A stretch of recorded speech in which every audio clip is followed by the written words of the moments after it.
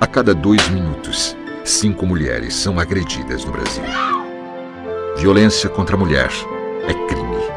Denuncie. O Ministério Público quer ajudar você. Ligue 180. A Fundação Luzia Tejada apoia essa causa.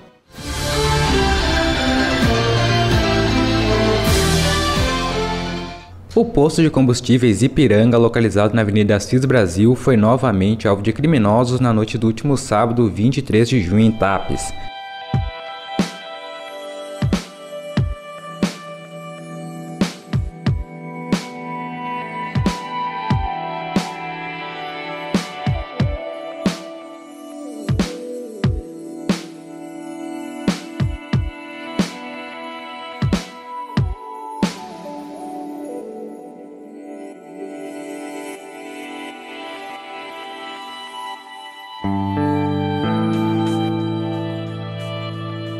Os criminosos que ainda não foram identificados fugiram levando uma quantia de dinheiro do caixa e um telefone celular de um dos clientes.